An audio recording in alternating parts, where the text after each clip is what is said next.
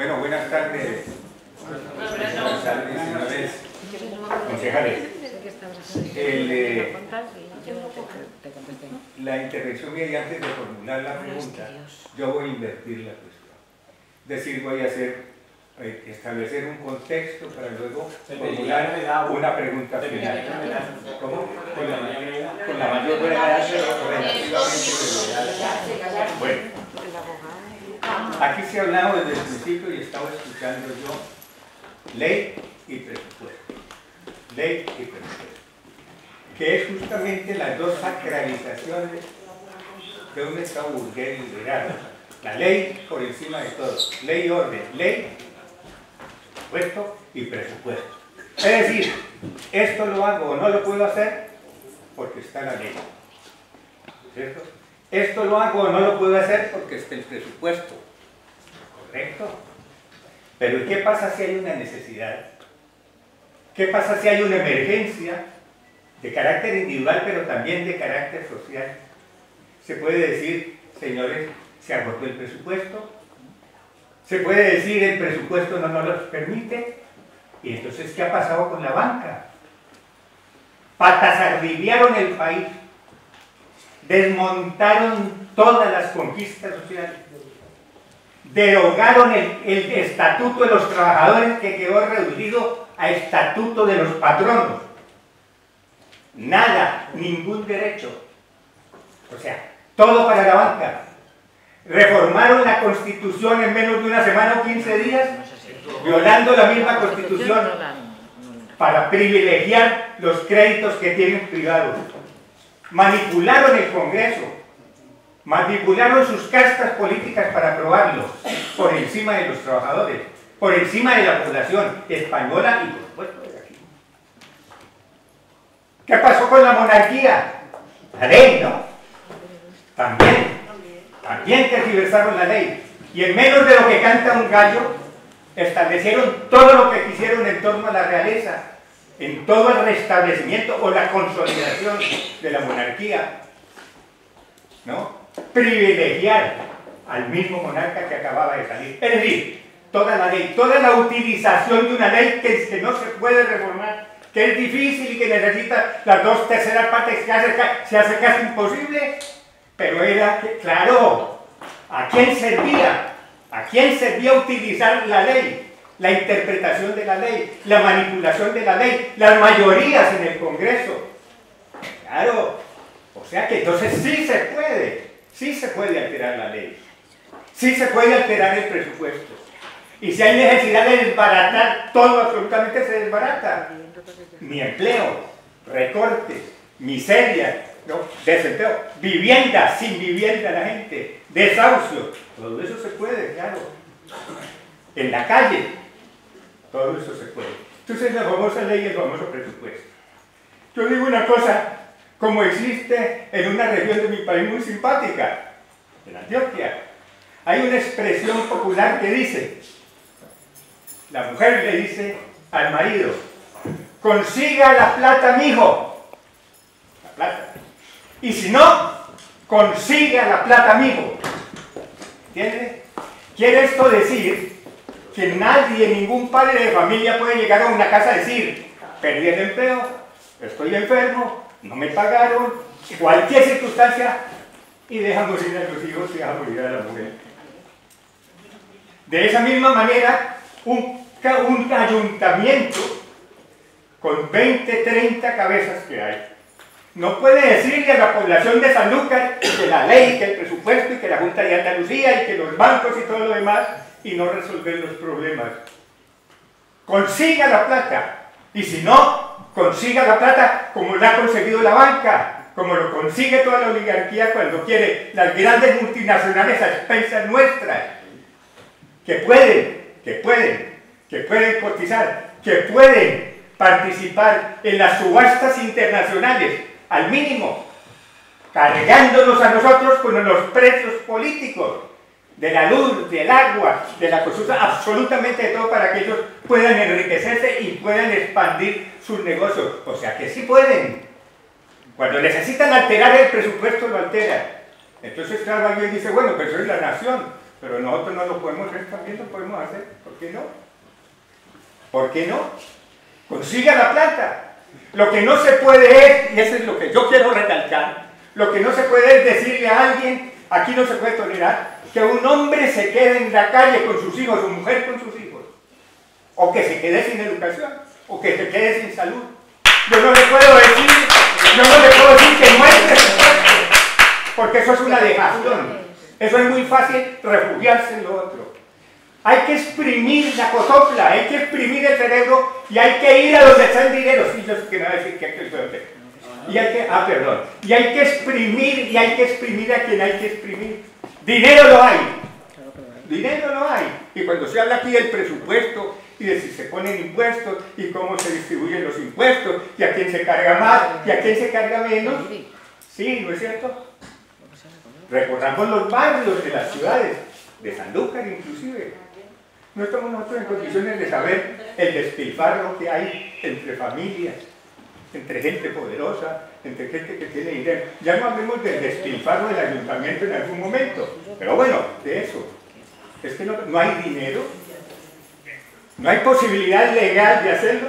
Claro, se dirá, si es que la hubo, exacto, desgraciadamente tienes todas razones en ese sentido. Y entonces corren y acuden al Tribunal Constitucional y el Tribunal Constitucional es de ellos.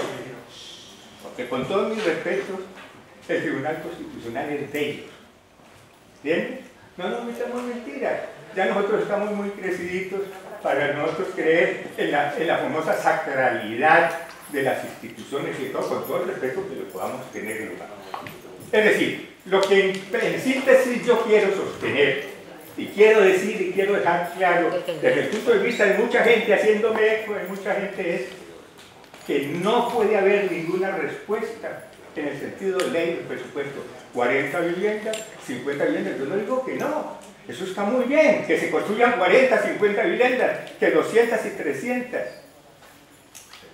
Vamos a suponer que una sola persona la desahucia. Un alcalde o un ayuntamiento no puede decir, lamentamos mucho, no tenemos presupuesto. O mire usted, no puedo hacer nada porque la ley no me lo permite. Usted me perdona no. No, porque hay emergencias hay estados. Nosotros vivimos en un estado de sitio. Lo que ha hecho el capital en, España es sitiar a los trabajadores. Sitiarlos y les ha quitado absolutamente todo. Como si estuviera en Gaza. Agua, luz y demás, es decir, sitiado por completo, sin empleo ni nada. Recortándole hasta lo último, hasta el último derecho. Es un estado de sitio. La gente quiere romper el estado de sitio, el cerco al que se le ha cometido, y el ayuntamiento y los ayuntamientos tienen que hacerlo.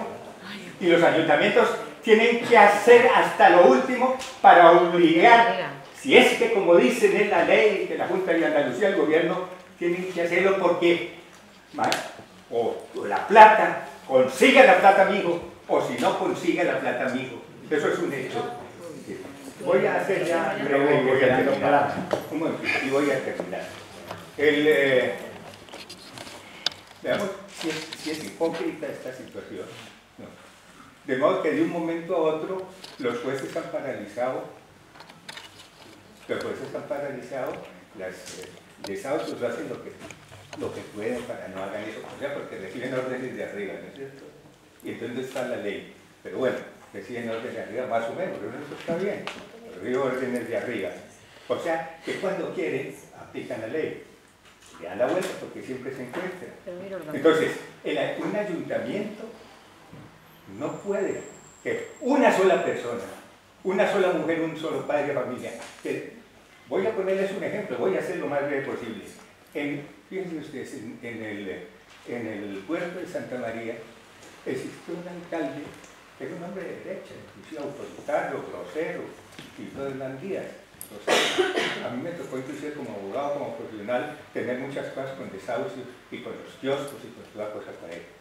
Pero era un hombre que tenía sensibilidad social hasta cierto punto, hay que beneficiárselo y todo. Y recuerdo yo que había una cantidad de gente que tenía luz, que le faltaba la luz en unos barrios y se dio la forma, por encima de todos, se dio la forma de hacerle llegar luz a esas barriadas que no tenían luz. Lo hizo, ¿no es cierto? Durante el gobierno de él, voy a decirle esto, durante el gobierno de él, y no estoy haciendo apología de él, sino fíjese usted lo absurdo, lo paradójico, que un hombre que aparentemente pues, es de derecha y todo lo que quiera, fíjense usted, hubo, dos centros, dos sitios en el puerto Santaría clave, que era Vietnam, que quedaba al pie del, paseo, y otro que se llamaba La Golondrina, un centro de drogas impresionante y una situación donde la gente vivía tremenda. Pues oiga usted, todo eso fue desalojado, es cambiado sin llevar a la policía. ¿Me entiende? Sí, sí, sí. Bueno, no, no, no, no, no, no, no, no, no, no, no, no, no, no, no, no, sin mandarle, sin mandarle, sin mandarle sin mandarle policías necesariamente, permanentemente intimidar a los demás. Y construyó, perdón, y construyó una serie de viviendas de gitanos y demás, inclusive hasta con la protesta de muchos ciudadanos que estaban allí. Quiero decir, y cuando había un desahucio, es un ejemplo simplemente, y cuando había un desahucio, cuando había un desahucio, cuando había un desahucio, se dirigía, se dirigía al, al, al juez de instrucción y se dirigía diciéndole que por favor ¿no?